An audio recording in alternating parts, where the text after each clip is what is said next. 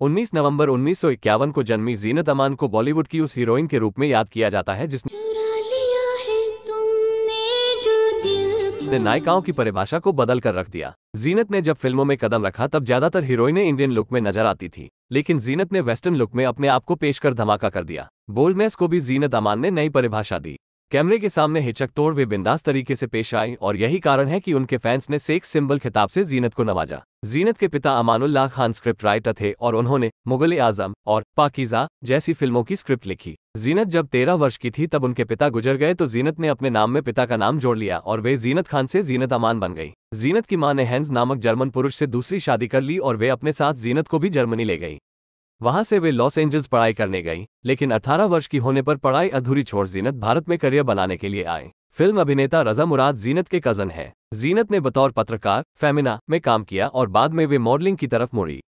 ताजमहल चाय के लिए उन्होंने मॉडलिंग की। जीनत ने मिस इंडिया प्रतियोगिता में भी हिस्सा लिया और सेकंड रनर अप रही 1970 में वे मिस एशिया पैसिफिक बनी। जीनत को ओपी रलहन ने फ़िल्मों में पहली बार अवसर दिया। 1971 में रिलीज़ हुई हलचल उनकी पहली फ़िल्म है। उसी साल हलचल और हंगामा के पिटने के बाद जीनत ने जर्मनी अपनी माँ के पास लौटने का निश्चय कर लिया। लेकिन इसी बीच उन्हें बॉलीवुड के सुपरस्टार देव आनंद ने हरे रामा हरे कृष्णा ऑफ़र की जो 1971 में ही रिलीज़ हुई। हरे रामा हरे कृष्णा के लिए जीनत पहली चॉइस नहीं थी। पहले जीनत वाला रोल जाहिदा को ऑफ़र हुआ था लेकिन वे देव आनंद की बहन की बजाय उनकी प्रेमिका बनना चाहती थी। लिहाजा उन्होंने फ़िल्म छोड़ दी और देव आनंद ने जीनत को चुन लिया। हरे रामा, हरे कृष्णा में जीनत ने अपने आप को वेस्टर्न स्टाइल में इस तरह पेश किया कि वे करोड़ों दर्शकों के दिल की धड़कन बन गई। उन पर फिल्माया गया गीत, दम मारो दम, आज भी युवाओं को पसंद आता है। जीनत अमान को देव आनंद बेहद पसंद करते थे। जीनत के साथ उन्होंने हीरा पन्ना, इश्क इश्क इश्क, प्रेम शास्त्र वॉरन डार्लिंग डार्लिंग और कलाबाज जैसी फ़िल्में की। बरसों बाद देव आनंद ने स्वीकारा था कि वे जीनत अमान को चाहने लगे थे। 1973 में रिलीज़ हुई फ़िल्म यादों की बारात की सफलता के बाद जीनत अमान स्टार बन गई। इस फ़िल्म में चुरा लिया है तुमने जो दिल को गीत जीनत पर फिल्माया गया और वे युवाओं के दिल की धड़कन बन गई। वेस्टर्न लुक, हॉट अंदाज और कपड़े पहनने में कंजूसी के कारण जीनत अमान मैगजीन की पसंदीदा अभिनेत्री बन गई। कई मैगजीन की कवर की उन्होंने शोभा बढ़ाई और इसी वजह से उन्हें कवर गर्ल कहा जाने लगा। जीनत अमान को कभी अच्छी अभिनेत्री नहीं माना गया। इसके बावजूद उन्होंने उस दौर के नामी film maker Devanand Raj Kapoor, B R Chopra, Firoz Khan, Prakash Mehra, Manoj Kumar, Manmohan Desai, Raj Khosla के साथ काम किया। 1978 में जीनत की दो बड़ी फ़िल्म सत्यम, शिवम, सुंदरम और शालीमार फ्लॉप रही, जिससे जीनत के करियर पर प्रश्न चिन्ह लग गया। लेकिन जीनत ने सफल वापसी की। सत्यम, शिवम, सुंदरम को राज कपूर ने निर्देशित किया, जिनके साथ फ़िल्म करना हर हीरोइन का ख्वाब होता है। जीनत ने इस फ़िल्म में जमकर अंक प्रदर्शन किया और उन्हें कुरूप स्त्री के रूप में फ़िल्म में पेश किया गया।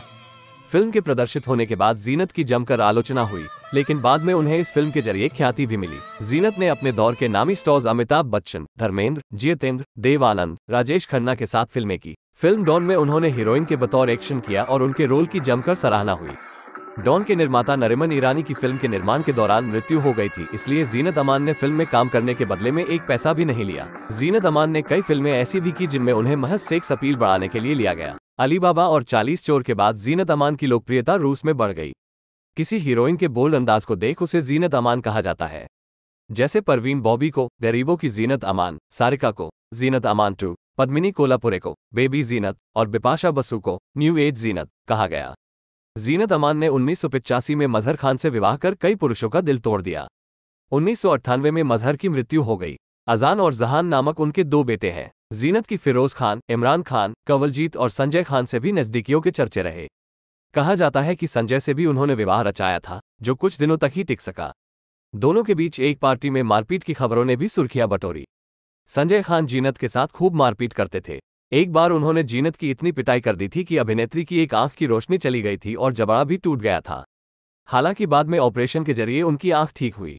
इस बात का खुलासा अभिनेत्री ने अपनी biography the big mistakes of my life में भी किया है। सत्यम शिवम सुंदरम, कुर्बानी, अब्दुल्ला, दोस्ताना जैसी फ़िल्में जीनत के अंग प्रदर्शन के कारण याद की जाती है। उन्नीस सौ बहत्तर में जीनत को फ़िल्म हरे रामा हरे कृष्णा के लिए बेस्ट सपोर्टिंग एक्ट्रेस का अवार्ड मिला।